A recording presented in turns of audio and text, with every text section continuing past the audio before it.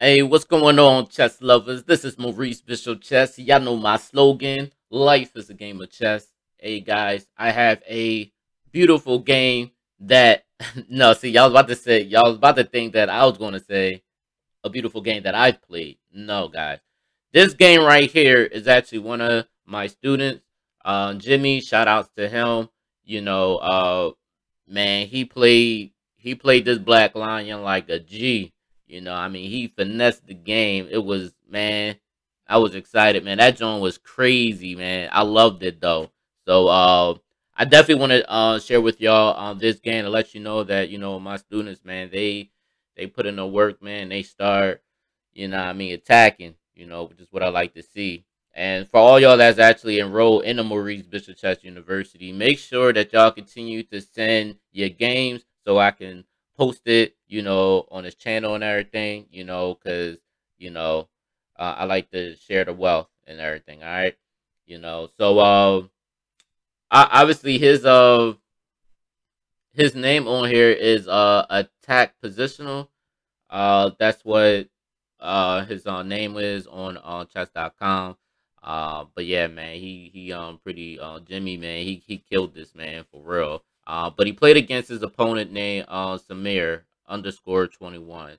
So without further ado, let's actually get right to this game.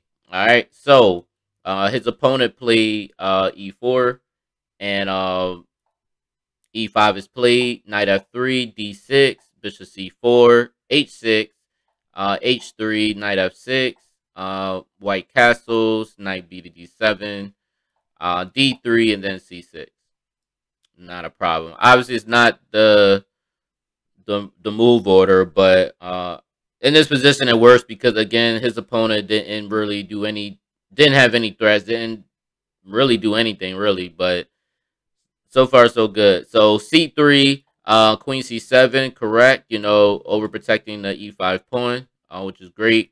Uh, bishop e3 and then g5. Hit him with the g5. This is what I'm talking about, guys. That g5 the ace when we uh when he went a6 it wasn't just to prevent the knight from coming to g5 but in the future we want to go g7 to g5 correct move. Uh knight b to d2 uh rook g8 uh again still not bad. Uh i do like bishop e7 i mean it really don't matter the move order as far as um that but especially the way uh, white's position is or his opponent uh but rook g8 works. Uh d4 is played then bishop e7 good move. Uh, literally, he just, uh, you know, I mean, Jimmy is, going. I mean, he's doing every move right. You know, I mean, uh, D catches D5, D catches D5, and then G4. The problem with um White's um move with the G4 thing, like you're really open, you're really opening your king side up like a lot. Like, you know, you're really opening it up, and you're gonna see why this is this G4 is just such a weakening uh, to his king side. So we're going to definitely see that in the future. Um, why uh, it's a mistake. Uh, so knight f8 is played, then knight b3, and then um b6. Now, I understand why he goes b6 to prevent the knight from coming to c5, but I mean, even with that being said, uh, it's just, eh. honestly, I, I kind of like the move b5 uh, B5 uh, was also um, a great move as well, which I like. Uh, because you're extending on the queen side, but also you'll you'll be able to control, or at least Jimmy will be able to control uh, not only the queen side, but he'll be controlling the king side as well. So if I don't know if White decides to go back to Bishop E2, then um uh he could have went Knight E6 because again he's guarding the C5 square as well. But also he has moves like a5 and a4 to get this knight out the way. But even if not, um, we're still threatening uh, moves like uh, knight f4. Or maybe the better move in my eyes is h5. I would definitely go h5 um, after this. And I think this is winning for black automatically. Like, you, you can't tell me different. But uh, I think b5 would, would have been correct. And then knight e6, guarding the c5 square. But also at the same time, pushing on h5, which uh, can end the game very quickly as well. Uh, so definitely, um, for y'all that's watching, definitely um, remember that as well. Uh, but this this this this was really good. But b6, uh, not not a bad move, but uh, I like b5, you know, because I like to control the uh, king side and the queen side as well. And then at the same time, you know, uh, you you want you want to make sure you ain't giving white no chances of trying to do anything in the center. Uh, make sure that you know he's completely don't know what he's doing. You know, make it make it like that in, in psychology. Like ain't nothing that he could really do. All right, so um, b6 is played, um, rook c1, and then uh, knight g6. Uh, great move. Uh, a4 is played, and then a5. And I always talk about, and the reason why I always talk about a5, guys, is just to prevent white from expanding on the queen side. You know, uh, he puts a stop to that. Uh, which is not a not a. I mean, this is actually really good move. Uh, the crazy part about is, uh, even the engine, the engine doesn't even consider knight. I, I want to go back real quick because I wanted to show y'all. Um, I'm sorry. Uh, it was somewhere all the way in the back. Yeah, so like after all this, instead of knight f8, I, I just want y'all to get y'all to understand the engine. Obviously, is just never going to consider knight f8, but the computer did mention knight c5, which they found this to be the best move. Uh, however, I don't like playing on uh, knight c5 again. Uh, I mean, I do have an idea why knight c5, due to maybe uh, the knight on c5 can come back to e6 with the threat of h5. You know, um, that could be the reason. But I personally don't play c5 unless I really have to. In this position, black really had no reason to go uh, knight c5. That's just personally me. Uh, maybe some grandmasters may tell me different. I don't know, but I personally, how I win games, I, I don't win. I win more by going knight f8, uh, and then g6 or maybe e6. Uh, but knight c5, no. I, I played knight c5 before, just to let y'all understand. I do play knight c5 before, but you know, I I in this type of position that white uh, position is, uh, knight f8 is, is great. All right, so rook c1. All right, all right. Now rook e1. All right. Knight f4. Knight f4 is the move. I love it. Knight f4. Bishop captures f4. Then g catches f4. Now um, black has this open g file, which is a beautiful g file. I'm loving it, man. I'm just so loving it. Queen d2. And then, and the crazy part, guys, the engine don't even recommend this move. Now, how I teach or whatever, I don't really use, I don't really use like computer like moves or whatever. I like to, I like attacking and I give principles uh, when it comes to attacking. So, and again, the engine doesn't uh, even suggest uh, what my student did. Uh, obviously, H5 is what the engine was saying uh, the move h5, but I don't like the move h5 because you go h5 and g5. Ah, I don't really like it. I mean, you do get bishop captures h3, and don't get me wrong, it's still winning, but I like the I like the the finesse. I like the attacking ability, and honestly, my student did exactly what I would have did and everything, and which is why I'm very pleased with it. Um, bishop catches g4. Oh yes, bishop catches g4, guys. I, oh man Beautiful, beautiful, beautiful sack. Ace catches G4. Knight catches G4. Um, obviously, his opponent goes King F1, trying to get away. And then Rook D8. Beautiful, beautiful move. This D file. Telling you, man, I'm about to tear up, man. About to tear up. real. yeah, man. Rook D8, Queen C2. And then uh Queen C8. Beautiful, beautiful, beautiful move. Oh my goodness. Why is Queen C8 such a beautiful move? Because number one, the king is on the light squares. You know, these are light squares. So putting the queen on the light squares, you know, eventually he's going to want to get to queen h3, uh, which is uh, the right move. But also, guys, there is a mating pattern. There is definitely a mating pattern um, with this as well. So uh, rook c to d1. Obviously, his opponent wants to exchange um, pieces. You know, the more he can exchange pieces, the more he can, you know, uh, you know, when you exchange pieces and everything, you know, you'll uh, decrease, you know, the um, your opponent's attacking ability. You know, which is one of the principles. But uh, Jimmy, Jimmy, man, he found he found the move. knight e3, 93 check, man. Uh, obviously checking and you know about to win the queen. So obviously you know with white is kind of forced. You know he got to take f captures e3 and then the move queen h3 check. Oh my goodness, man, this is over. I'm pretty sure all y'all can see the mate coming, right? The, mind you, the rook is already on the d file, so it's not like he could run very far, you know. So, but of course his opponent played king f2 and then rook g2 checkmate. Yes, guys, checkmate. Now, if he would have played, uh, it doesn't matter what uh his opponent played. Uh, I mean, even if he come here, uh, it doesn't really matter. Uh, queen g2 uh is still checkmate, as y'all can see in this position. Uh, but yes, definitely. Uh, this was definitely a crazy uh Black Lion game. Uh, this was uh definitely crazy. Uh, and no, guys. Um, when I say Rook G2, uh, Rook G2 is not checkmate. Uh, yet, but I mean, obviously, if he goes King F1, then obviously y'all already know, guys. This is uh checkmate after Knight F1. I mean, I mean after Knight G1, and then you know this is checkmate. But uh, but after Rook G2, uh, his opponent uh resigned um in his position.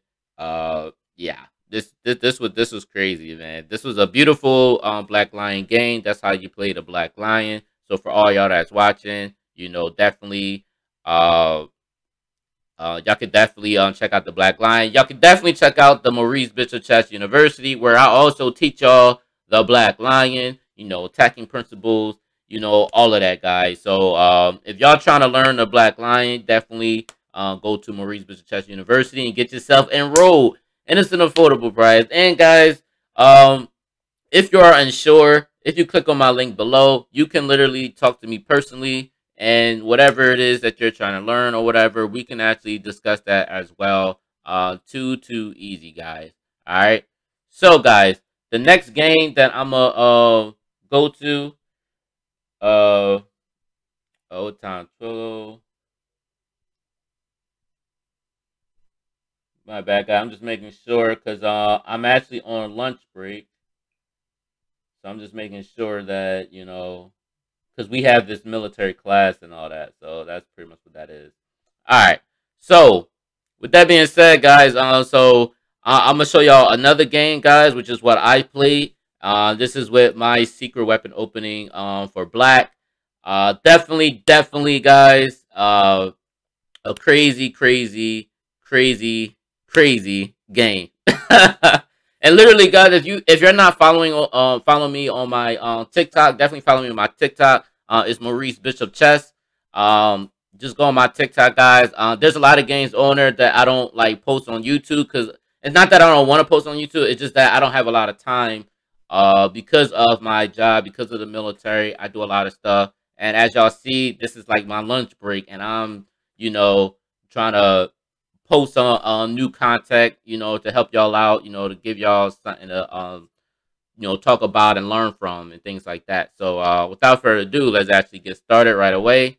Uh, obviously, guys, I played as black. My opponent played as white, and uh, I think this guy's uh, this, the person I played was a a, a five hundred and everything. Uh, and this was and this game is actually off of chess.com and this is not on Lichess but I use Lichess because it's just easier to import the games and all that. But anyway, he plays d4, I play e5, d catches e5 and d6.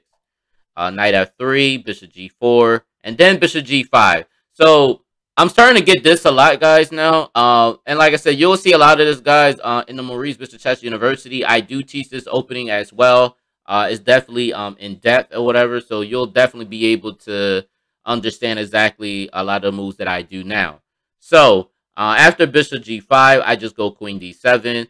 Um, e catches d6, bishop catches d6, and then knight c3. All right, so it almost looks like, you know, my position, um, to most people, it may not look that good. It may look like it could be drawish or whatever, but it's really, really not. And, and it surprises a lot of people. Um, I go knight c6. He's developing. Um, the whole point of this is uh, I want to castle queenside as fast as possible and start an attack as fast as possible, which is what I want to do. So, queen d5. um, queen d5 is played. What he's doing is he wants to uh, centralize his queen, but also uh, white also would like to castle queen side as well and try to start some type of attack. Again, this is a strong 2500, guys, for real. Uh, I go f6, and I go f6 uh, to not only push the bishop away, but also I wanted to block him so that I could castle queenside myself, because that's really the whole point of my opening, castling queenside, develop my pieces as fast as possible, and attack as fast as possible. So, bishop h4, I castle queenside, he castles queenside, and then I develop my last piece with a tempo with knight g to e7. Y'all see that?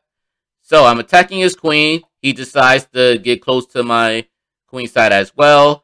Uh, I decide to get another tempo with the move a6. He moves again. So because his rook is on a d file, you know, uh, my bishop, my dark square bishop can't move anywhere because of my queen is on his file. So I needed to move this right away, which is why I move queen f5. All right. So I go queen f5 my opponent plays e3 because again he has one piece that's not developed so he had to go um, e3 in order to develop as well. And also i'm very aware that you know uh, sometimes people may want to sack on um, a6 but i realize that you know it doesn't work the way that it um, it would like for them to work you know so uh, so i've been in that situation before. Uh, so what i did is i played queen h5 now, the whole point of Queen H5, guys, because I get a lot of times uh, opponents will miss it. Uh, they may make moves like H3 to drive my uh, bishop away. Uh, the problem, uh, really the problem with this move is uh, you're weakening your pawn structure, number one, which is really bad. So you're weakening your pawn structure, and then I'm winning the pawn with a tempo off of this rook right here you know, and it's not something that you um, really want to do, especially um in an end game. This would be very good, great for me, especially since I have uh, the pawn g5 that can um move up as well. Uh, so in a position like this, um, it's not very uh, it's not very good. All right, so which is why uh, my opponent didn't go h3 at all. So after queen h5, he decides to go bishop e2, uh, which is actually better. Um, again, guys, uh, usually when I come here, usually I would like to go bishop captures f3 and then win the bishop on uh, a on h4. But the problem is the queen is already here. So I understood that. Um, so I was actually looking at it from uh, a pawn structure wise, where maybe if I take it to the end game, you know, uh, I'll have a better pawn structure. All right. I'm turning this thing down real quick. Hold on, guys. All right. Uh, so bishop e2, uh, and what I played in this, I played bishop b4. Now, the whole point of me playing bishop b4, guys, is not just to take this knight and open up his queen side. Again, because I blocked the bishop, or I blocked the queen from this rank, now I'm threatening bishop captures f3, hoping to take the dark square bishop. Obviously, my opponent sees this, right? So, in other words, guys, if you see uh, h3, if I take and he takes, now I can win this dark square bishop, and now I'm up a piece. All right. So after bishop b4, my opponent actually saw uh, saw that, which is why he goes bishop g3. All right. So after bishop g3, uh, I go bishop captures c3, and and I'm, and I'm happy about the position because now you know I'm opening up his on queen side. So b captures c3, and now I go king b8, which is a prophylactic move. I just want to make sure that I'm getting out of any um, light squares areas, um, which is why I did that. Um, H3 is played, and I played bishop e6.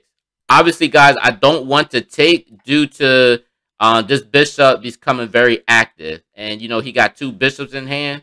Uh, it becomes very active, and that's not how I want to uh, play this game. So that's why uh, I chose bishop e6.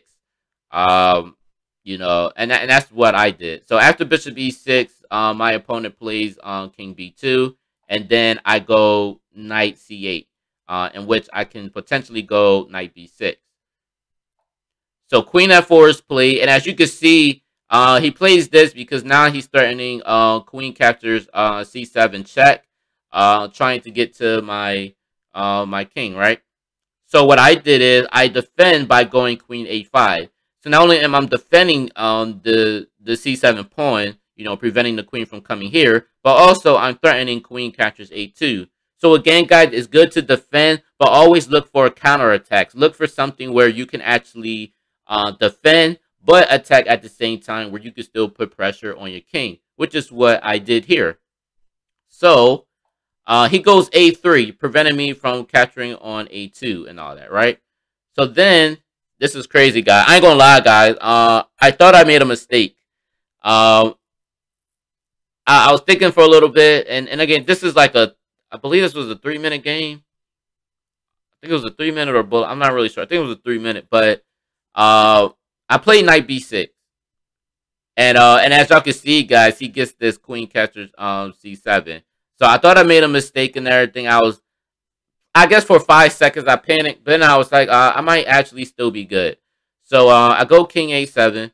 And yes, guys, I'm not afraid to say that I think I made a mistake because nobody is ever perfect. So, you know, I don't claim to be perfect. I, I make mistakes too. Uh, but uh, but when I analyzed, I realized that uh, King A7 was or Knight B6 was the actual correct move, and I think uh, the reason why it's the correct move in the computer's uh, engine or whatever, they might think that it was right because of again, I go by the, attacking principle. Uh, if I have uh, three or more pieces surrounding the king, I either have some type of tactics or I have some type of mating attacks going on. So I always live by this principle, and I and I tell y'all every single time that when you have three or more pieces surrounding the king, you either have a mating attack going or you have some type of tactics where it will give yourself um, a big advantage. You know, so I live by that principle. So uh, after king a7, my opponent goes rook captures d8. I go rook captures d8, and my opponent plays uh, rook d1. You know, just exchanging pieces down. So the move that I did, guys, that shocked them. The craziness. The madness. Crazy, guys. The move I played was Queen captures C3 check. so again, guys, when I y'all probably like, man, I would have never seen that move. Well, guys, the thing is, if you once you understand principle and you start studying tactics on a daily, you will be able to see these type of moves as well, guys. It's not as complicated as you may think, but again, guys, the more you study tactics, you know, enforcing moves, the more you'll start um, be able to see these type of moves. So queen catches c3. Now, the move, the best move for white to do in this position is king b1. But as you can already know, guys, this is pretty much uh, losing for uh, white. Because uh, if he goes king b1, rook captures d1, bishop captures d1, and then knight c4. And this game is literally over. There is no way he could stop this mate. Uh, of course, if maybe if he goes bishop b5, but again, I would just take. And again, there's no way he could stop this mate at all. But of course, that's not how the game went. How the game went was uh he actually took my queen. He goes, I go queen captures c3, he takes, and then I hit him with knight a4 checkmate. Why is it checkmate? Because the knight is guarding this b2 square. Uh, the king can't go b3 because the light square bishop is guarding. And of course, you can't go to none of these files because of the rook that's on the d file. Pretty crazy, huh? Pretty crazy mate, huh? I had to show y'all this, man. This is um pretty crazy. Um, so guys, uh, I know you know I haven't really uh, uploaded uh so much due to my military career. With all day I'm at class and everything. But um, during break, you know, I decided to, you know, post something. Uh, so I hope y'all actually enjoy it. Uh, if you like this video, make sure you like, share, comment. Uh, let me know what you think. And also, guys, if you have not, if you're interested in, be, in improving your chess and becoming a strong attacking player, make sure you enroll in Maurice Bishop Chess University, where, again, guys, uh, not only do you get the, the video courses and my Lichess study forum, and everything. But guys, you also get to talk to me personally. You could talk to all of my students. Uh, they all they all get an opportunity to talk to me. And even if you're overseas and everything, I don't care where in the world you're at, you know, uh, you can still talk to me uh, using Zoom. You know, simple as that. So uh, I'm I'm pretty straightforward, guys. I'm human, just like everybody else and everything. You know, uh, like I said, I, I definitely care about y'all well being and definitely care about y'all improving as well. So, uh, So again, guys, hope you enjoyed it. And also, guys, just do me one last thing for all y'all that's not subscribed. If you haven't subscribed to my channel, please do so, guys, because if you ain't subscribed to my channel, then what are you doing? all right, guys. Peace.